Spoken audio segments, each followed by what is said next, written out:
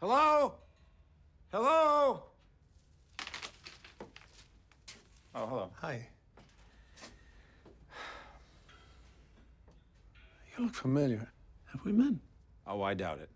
I know you from somewhere.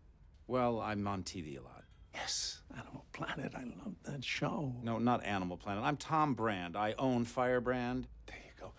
I use newspaper in the poopy boxes, and I see your face all the time. Look, I'm a little late for something, so we could just get on with it.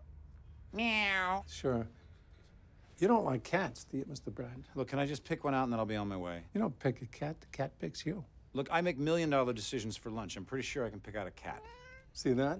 He likes you. It figures because he's attracted to troubled souls.